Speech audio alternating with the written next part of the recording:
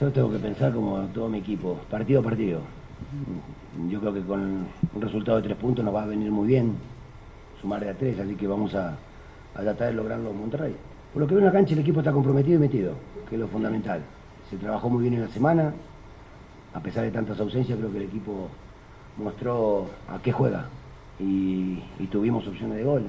Lamentablemente la última jugada no la pudimos definir, pero creo que tuvimos varias. Fueron mejores que nosotros, primer tiempo. Segundo tiempo nosotros logramos emparejar, por momentos tuvimos mejor. Y creo que cuando estábamos mejor, viene el gol en contra. Lo bueno es que logramos reaccionar inmediatamente, el empate. Y yo creo que después el partido fue de aproximaciones a las dos áreas, ¿no?